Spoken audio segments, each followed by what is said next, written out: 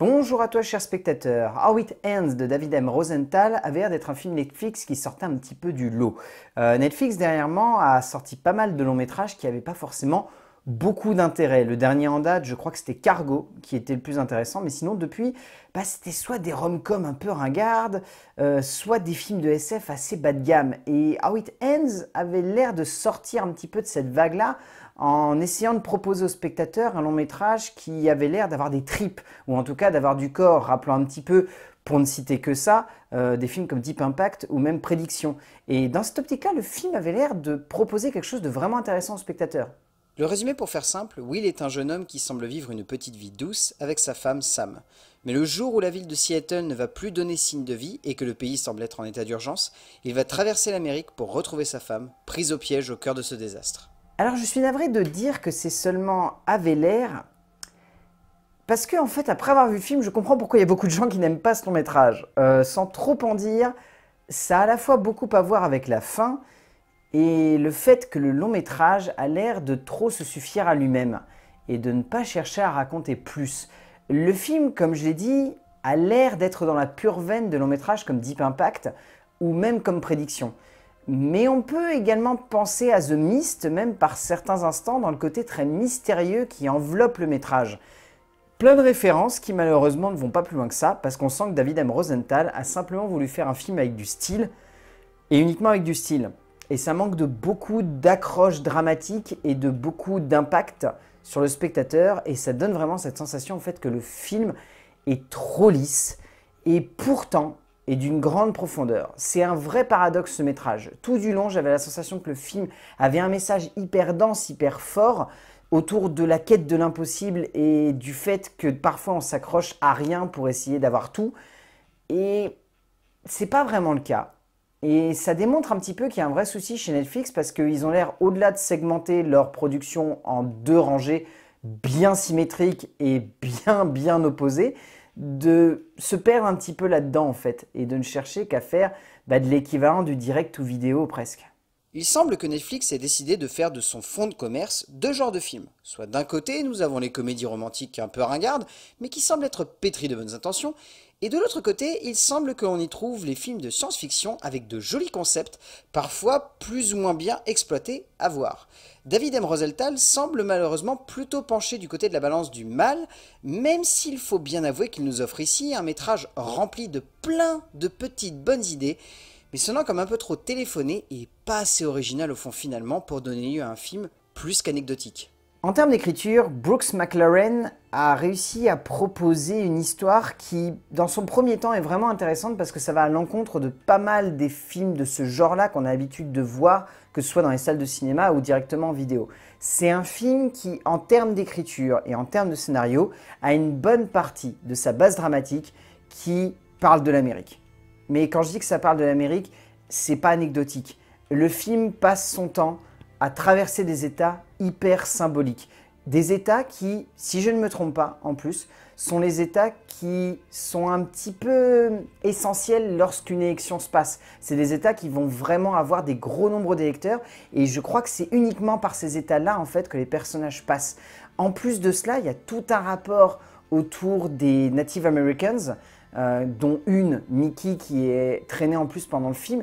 Et je pense qu'il y a tout un rapport autour de ça qui est évoqué dans l'écriture de McLaren et qui malheureusement, lorsqu'on arrive à la fin, sans trop en dire, n'a plus de sens. littéralement, plus aucun. C'est vaguement évoqué de manière très brève autour des armes à feu, mais très honnêtement, je vois pas où il est parti le propos. Peut-être qu'on aura une suite parce que j'ai regardé sur internet et visiblement tout le monde a l'air de dire et tout le monde a l'air d'évoquer qu'il y aura un Out Ends 2 ce qui ne m'étonne pas quand on voit la fin du film sans trop en dire, mais c'est bâclé, ça sonne comme bâclé. Et je pense que malheureusement, c'est en grande partie dû à l'esprit de cette narration qui est beaucoup trop lisse. S'il faut bien admettre que dans son ensemble la narration somme comme étant assez efficace, il faut également bien avouer que les clichés et les facilités se ramènent assez facilement sur le devant de la scène et donnent lieu à une narration qui sonne comme une constante ligne tendue vers le vide malheureusement. Cela ne veut pas pour autant dire que l'on s'ennuie, c'est même loin d'être le cas durant une bonne partie du métrage.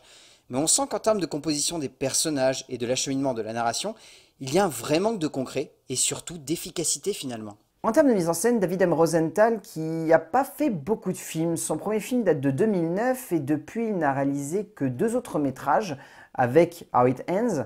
Et donc son quatrième film en fait est simplement un, un film qui a des séquences qui sont vraiment superbes.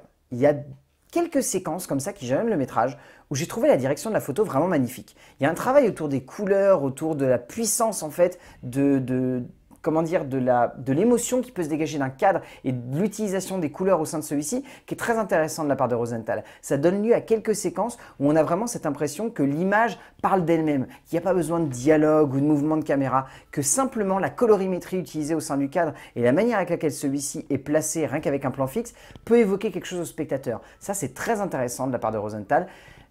La séquence de fin est monumentale. Je trouve les quelques derniers plans du film sont hyper marquants et s'impriment sur notre rétine. Et malheureusement, cristallisent encore plus le sentiment que le film n'est pas terminé ou alors qu'il y a d'autres choses après et que c'est un petit peu dommage de le couper comme ça dans le gras. Mais au milieu de tout ça, en fait, j'ai vraiment cette impression que Rosenthal avait plein de bonnes idées, qu'il les a balancées, mais qu'elles sont totalement éparpillées. Et en plus, la bascule dramatique est très très mal filmée, je trouve. Elle n'est pas très intéressante, elle arrive au début, lors d'un accident. Et je trouve que cette séquence-là est, moche, et la transition est pire que tout. Et ça démontre bien en fait que Rosenthal avait, avait une base de travail et qu'il n'a pas réussi à complètement l'exploiter. Rosenthal ne laisse sa mise en scène briller que par instant. Et en cela, on a vraiment cette impression qu'il manque quelque chose, pour faire de cette œuvre de SF un peu plus qu'une petite aventure somme toute rondement menée, mais qui ne contient finalement pas grand chose de plus pour le spectateur. On est loin d'avoir l'impression qu'il s'agisse d'un direct ou vidéo, comme évoqué avant, et comme c'est parfois le cas dans ce genre de production. Mais à l'image d'un générique d'introduction qui promeut au spectateur les étoiles, on a cette sensation que l'œuvre qui s'offre ici à nous manque de beaucoup trop de précision pour réussir à être totalement captivante. En termes de casting, alors personnellement je trouve que Forest Whitaker est, est très en sous-régime. Pas en grande forme le pépère, mais il arrive quand même à bien s'en sortir. Euh, Kate Graham est pas trop mal, même si on la voit pas tant que ça au final. Euh, Nancy Sorrell est plutôt bien, mais c'est Grace Dove que j'ai trouvé qui décrochait vraiment la palme avec Ricky. Son personnage, elle le campe à merveille elle a deux trois séquences qui sont vraiment marquantes. Et étonnamment, l'acteur central, que je n'appréciais pas plus que ça dans Divergente, est bah, plutôt bien là, enfin même très bien. Theo James est assez bon dans le rôle central, et s'il faut bien avouer qu'il a peut-être un peu trop joué les beaux gosses dernièrement au cinéma, ce rôle lui donne une certaine crédibilité quant à ses possibilités futures d'acteur. Au bout du compte, How It Ends est une démonstration en fait que Netflix a vraiment le cul entre deux chaises. Je n'arrive pas à savoir si cette production est utilisée à des fins uniquement de combler du vide avant une autre production qui est supposée arriver fin juillet euh, chez nous, je crois. Euh, mais honnêtement, ce film est tellement le cul entre deux chaises. Ça me rappelle beaucoup trop euh, le film euh, qu'avait fait Jones tout récemment et qui était pas très très bien non plus en fait. Et je sais pas ce qui se passe. Est-ce que Netflix bâcle des projets ou récupère des films qui sont pas terminés? J'en ai pas la moindre idée. Après, honnêtement, How It Ends de David M. Rosenthal, j'ai envie de vous dire, faites-vous votre propre avis. C'est un film qui est pas si mal que ça. C'est pas non plus un mauvais film. C'est juste un film qui a trop le cul entre deux chaises et qui est pas totalement abouti. Peut-être qu'une suite donnera plus de propos au tout, mais en tant que tel, c'est juste bof. Mais essayez, vous verrez bien si ça vous plaît finalement. C'est ça le but du cinéma aussi, se faire son propre avis. A plus